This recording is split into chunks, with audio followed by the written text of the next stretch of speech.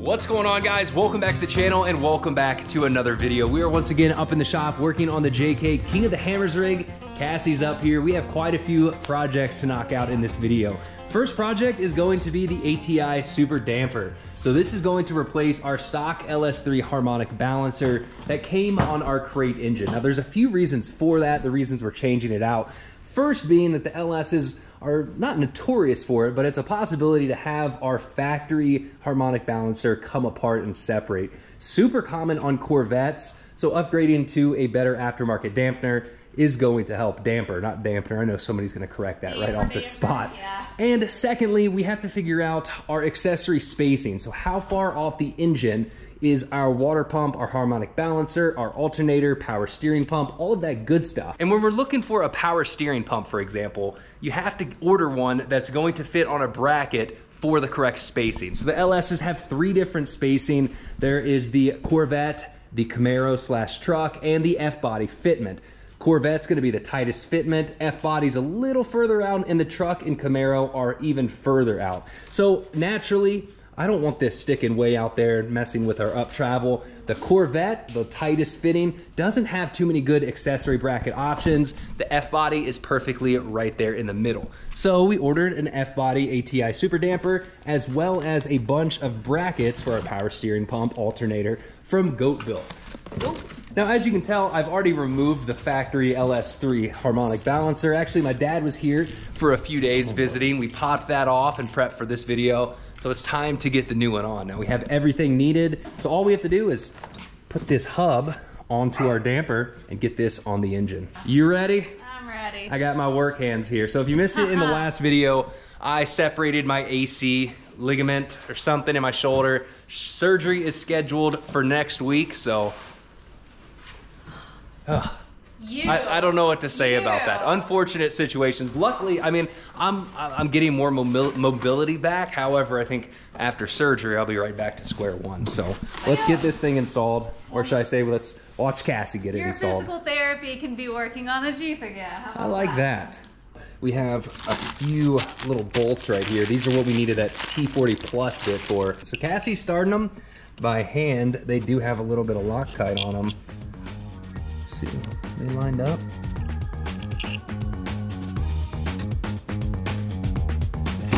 We. Okay, so there is an offset hole. We're gonna have to spin around and clock it probably.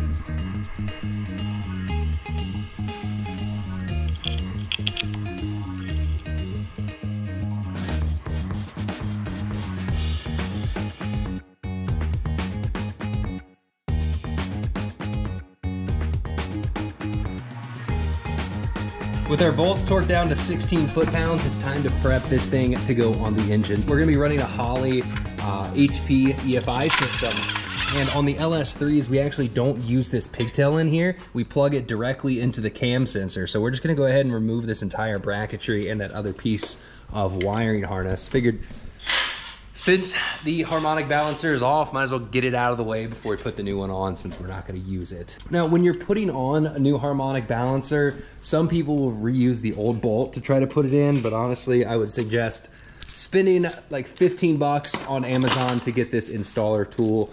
Longer threads, you don't have to worry about stripping out your crankshaft, which is something that you don't wanna do whatsoever. Now, on the ATI, we do have timing marks. The LS, we don't really need timing marks on there whatsoever, but since this is on there, we've already set the engine to top dead center. That way when we put it on, I'm just, we don't have a pointer, I don't think, but we'll just put zero degrees facing up. It's at, Did you and your dad set it up? yeah, we set it at top dead center Okay. before we pulled it off. Uh, actually, before we do that, we need to throw some anti-seize on there. That way, if we ever have to pull this off. Uh, didn't we when we did this on mine? Remember we got anti-seize everywhere? Oh yeah, I remember that. So anti-seize is a little bit important on this, just in case we ever have to press this off for a All reason. over everything. It's like that. I think I dropped it or something.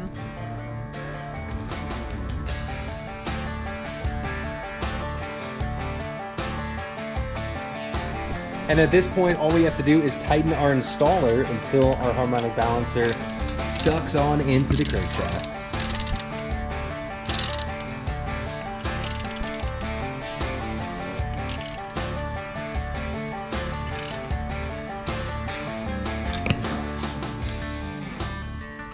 So next up, it's time to install our ARP bolt, and there's a ton of different opinions on how to do this.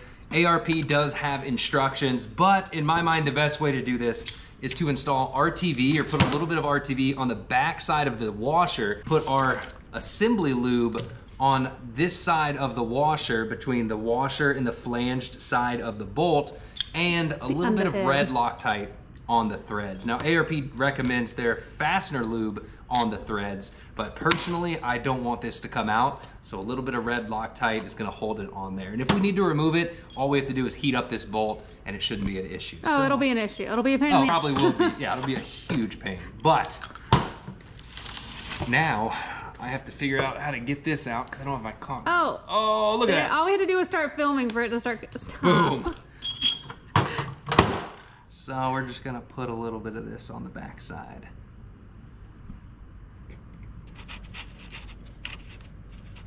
And the red Loctite.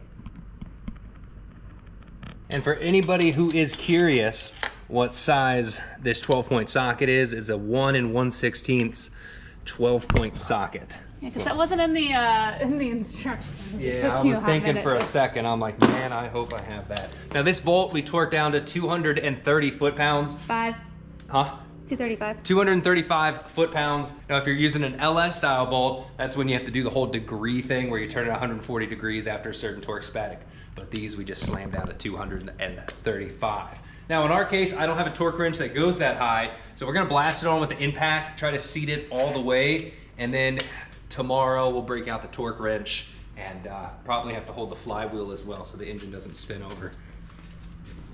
And I didn't think about that. The Loctite's gonna stick in. Yeah, Ben has not decided if he wants to pin the crank or not. So But- on LS engines, you can actually pin the crank, and I have a pinning kit here. What that does, mostly for supercharged applications, but we go from just a press fit damper, and we actually drill two spots through the damper hub into the crankshaft and install the pins. That way there's physically no way that the damper can spin outside of relation to the crankshaft. So they're pinned together. You know, you, don't really need it in, in like an NA naturally aspirated build or a turbo build. But I mean, Cassie was like, you know that once you set this, like in a month, you're gonna wish you pinned it. So I went ahead, pulled the bolt out, we cleaned up the Loctite off it and the RTV. And tomorrow's job is going to be pinning the crank, and then we'll go back through and uh, pin the crank and then put the bolt in. We were so close to being done. See you guys in the morning.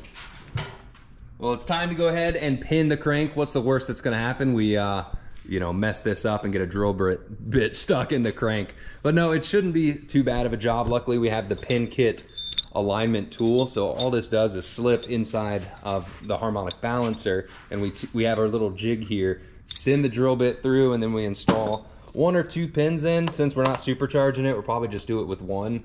Uh, they gave us a drill bit. You have to mark the depth, and all you do for that is just uh, pretty much see how far past this the pin's gonna sit, mark it on your drill bit, install all this, and drill it out. So this drill bit came with the kit. I'm not entirely sure how good of quality it is, so we're gonna take it slow because the last thing I wanna do is break off this drill bit inside the crank.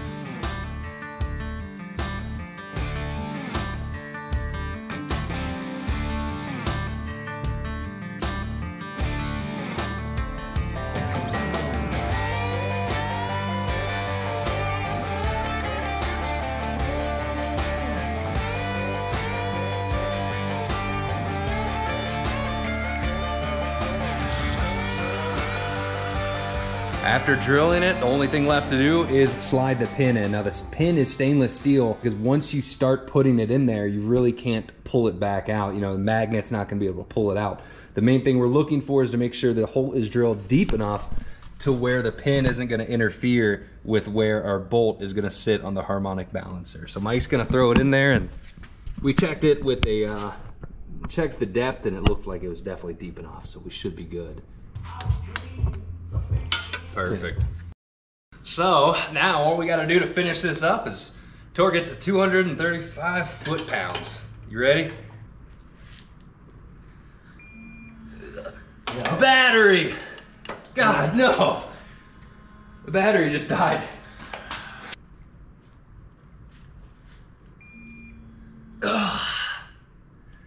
That's it. That job is done. Before we go ahead and start attaching all of the goat built brackets, we need to order the power steering pump, alternator, and our water pump. This is a, uh, a Corvette water pump, so you can actually see the difference in the spacing. So like I mentioned earlier, this is an F-body spacing, this is the Corvette, so you can actually physically see it now.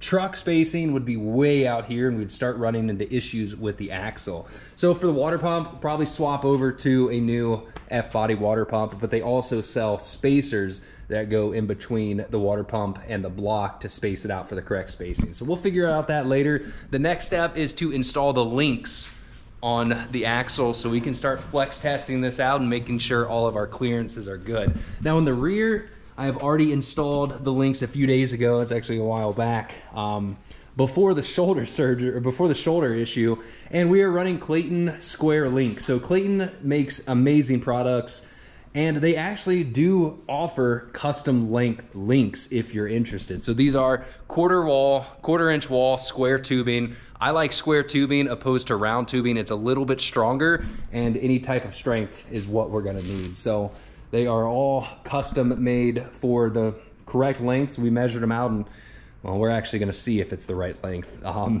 hopefully it is. Oh, but we're in the ballpark. We're in the ballpark, close enough. And with these Barnes four-wheel drive uh, Magnum Heims, we have plenty of adjustments. So your typical Heim joint is only going to be right about there. So you're limited to about half an inch on both end, whereas these Barnes ones, you have plenty of adjustments, so they're still plenty strong. Now, what we don't want to do is run the joint out you know, let's say we went this far with it, yes, it will work, but you actually lose a little bit of strength. The closer the joints are inside the pocket, the stronger they're gonna be. It's just nice to have that extra material on the Heim joint and it makes adjusting them a lot easier.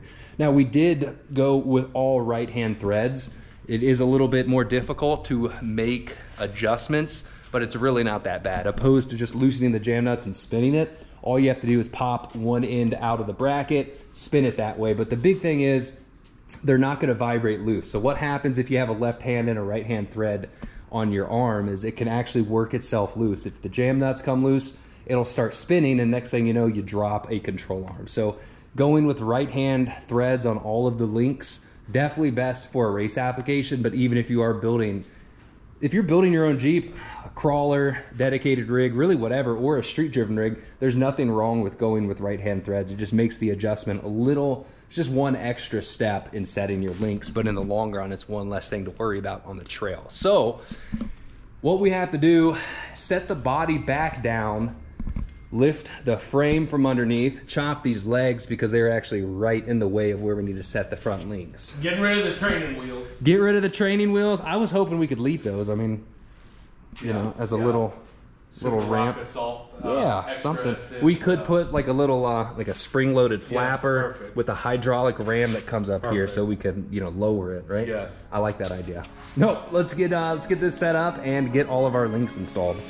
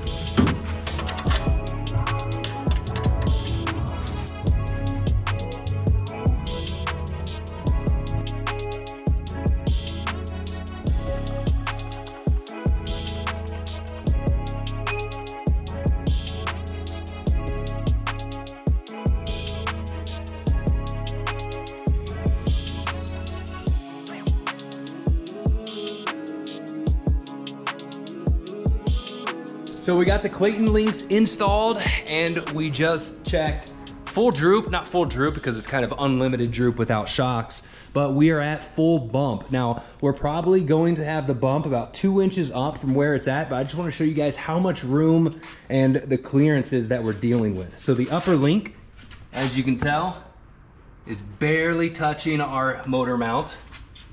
Our damper actually has a hair of clearance right there. Engine to the diff has clearance right in there. We have clearance on the steering box, clearance on the exhaust, everywhere. So this is the absolute full bump that we can go down to. It's not necessarily gonna be our full bump in regards to suspension. But over here in the rear, everything does clear as well, but we're held up because our tires are hitting, getting into the rear quarter. So the plan is to use the RPM steering 12 inch JK aluminum stretch corners, and it's the corners, rocker guards, and front fenders. Hopefully we will be getting those in soon because I wanna see the rear at full bump. Now, we have clearance up here on the gas tank. There's still probably two and a half inches up there, but we have to account for the amount that the body is coming up from the tires here. So we should clear. Worst case, if we do need more up travel, that's why we left these tacked so we can just cut these and raise the gas tank up maybe an inch to have everything clear. And that's, we have the bolts in the lower hole. If we moved them to the upper one, we definitely have to raise the gas tank, but then you get into the whole thing with, uh, you know, center of gravity versus up travel. And I think having quite a bit of up travel on a go fast rig is needed. One of the last things to check is going to be our pinion angle change at full bump and full droop. Everything looked good at full droop and that's what I was talking about in the suspension video when we were making the mounts. It's what your pinion angle is going to do throughout that range of motion. Now on the front, it looks like our pinion angle is pretty good at full bump. It's pitching up a little bit, so we could dial in our uh, upper control arm back, but then at full droop, we're gonna have to check it. Mike has a uh, spare 1350 drive shaft. We're probably gonna bring over here. Yeah, cardan, everything. It's a perfect mock-up drive shaft. We'll have to chop it. But man, this is looking good. Nice and low, everything clears. That is a very successful sign. I am happy with it. I was a little bit worried about this because you never really know if everything's gonna clear until you do it. And what a lot of people will do is build everything at full bump, and that's a good way to build things. However, sometimes it's just not feasible. When you're doing a thousand different projects at once, you can't do it at full bump. And you know, people swear by it. I necess I don't necessarily say you have to build at full bump as long as you know what to account for and what's going to happen at full bump. So I'm happy with this. We're gonna play around with it and uh, hopefully start flexing it out soon.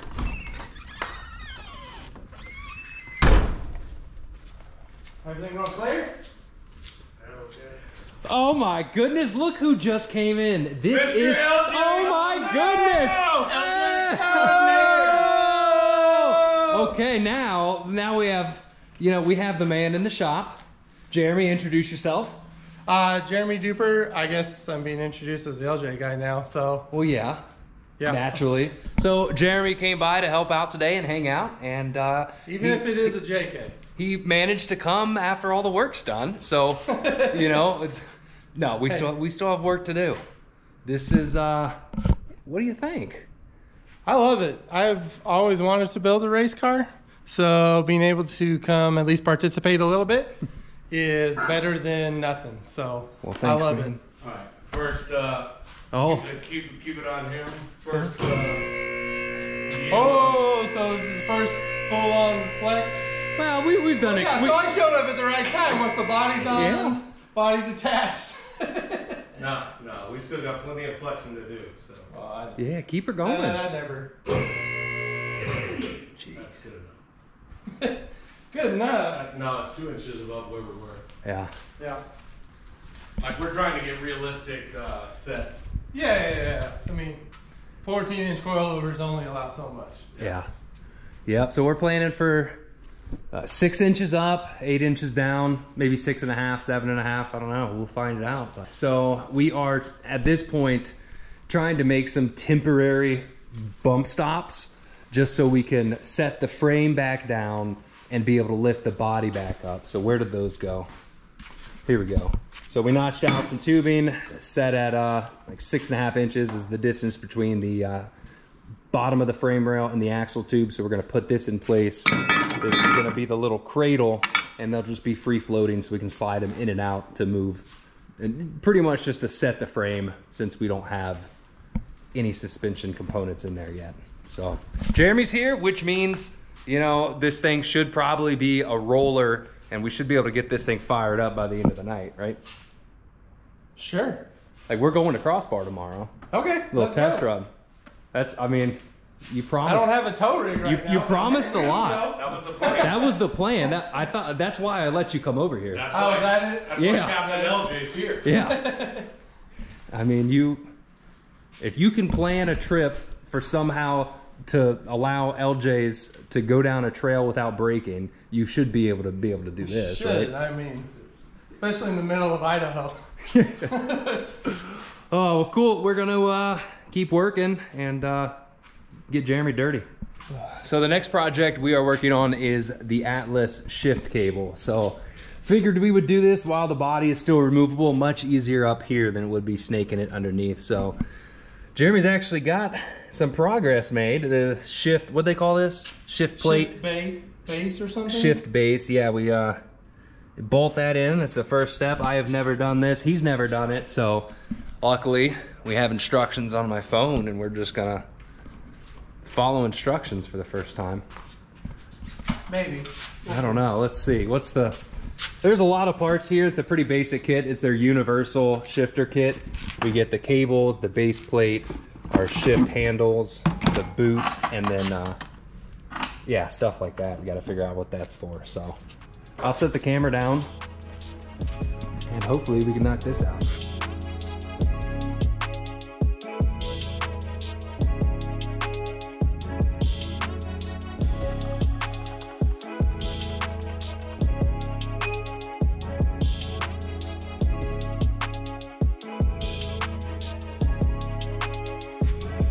Cassie is up here to help out with the next project, but before we move on to that, I want to talk a little bit about the shift linkages. Jeremy Duper and I were able to get, I don't know why I said his last name like that. Duper. I just, I will stick to Jeremy. Jeremy and I put this in. He was a major help. One thing I will say is I would never ever want to do this install with the body on. It was hard enough figuring all of this out just with the bird's eye view, doing it from underneath would be a complete pain in the butt. And I think that's probably why people have issues shifting their Atlas is because it's almost impossible to set this 100% right when you're trying to snake up in here and get everything set. So here, you know, I know the video wasn't too much help for those of you installing the shifter, but I'm sure there's a video out there. This is what the final outcome should look like. You know, we want to have equal spacing on the threads. There's a little ferrule that sits in there. The instructions are pretty good, but, you know, seeing it in person might help somebody. But that is done. We have to wait to do the in-cab portion for the actual shifters once we're done raising and lowering the body. But moving on to the next project is going to be the water pump. So, Cassie's going to help assemble this. This came in the other here. day. Yep, it's got the F body spacing to match the damper or the harmonic balancer, whatever you want to call it. We should be good to go. And we've actually done a few things to it. So first off, this is our heater core Bypass. bypass. Typically, this would go up to your heater core, but race Jeep stuff, we are not going to be running a heater. Luckily, the PRP seats are heated. So we bypassed the heater core and over here on the thermostat housing, went ahead and bolted on a dash 20 or an AN fitting because our water pump all the way back to the radiator is all going to be AN fittings. That way we don't have to worry about leaks. We don't have to worry about anything getting loose. And that brings up our next point for this right here. So this is just set up for a hose barb.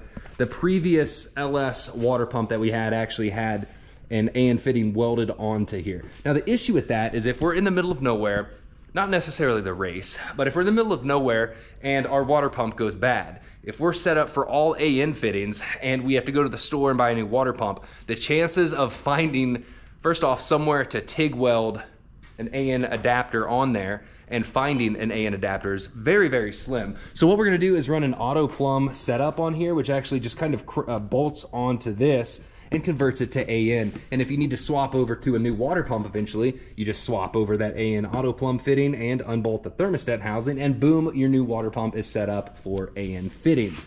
So that is enough talking. We got some ARP bolts here, our Fel Pro gaskets, and later I'll show you how to measure for an auto plumb fitting. Let's do it. Let's get this on.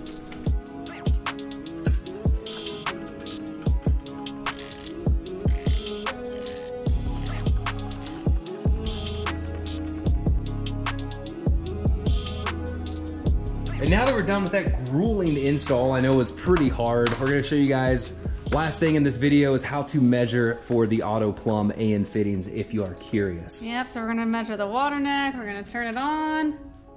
Sure it's zeroed out. I think it's almost out of batteries too. It's flashing on us. Maybe it'll last. So 1.33. 1.33. Now with some of these you do have to take a measurement in a different spot. So let's take a vertical measurement just because these aren't always perfectly circle. Yeah, 1.31. So they do have a margin of error. I think it's 25 thou, but Yeah, I'll I'll make sure to check that on their website. But they have all kinds of listings. The main thing we want to do is measure on the actual water neck, not on the barbed fittings. And you go to their website, find the one that fits your needs, and you are good to go. So earlier, I know when we started off this video, we were planning to get the Goat Built brackets installed as well. But reading their instructions, turns out that you kind of have to have the pump and the alternator to kind of put it all together before it goes on the engine. So those are not ordered yet. We'll knock those out when they come in. That's gonna be it for this video, guys. Like always, please give the video a thumbs up, subscribe to the channel, and we will see you guys next week. Hopefully, I get surgery this Friday, and if you can't tell, Cassie got a little biopsy They done on a mole. Face mole. Yeah, her classic mole. I have one. She had one. Both of our kids have one. Fingers crossed took mine. that it's nothing I'm a bad. little bit sad. So It'll be next good. Week, we'll probably do some stuff on my Jeep since he's gonna be. I'll be down, so we're gonna wheel Cassie's Jeep in here, and I'm gonna sit. stuff done on it. I'm gonna sit around with the camera and film her doing some work. See you guys later.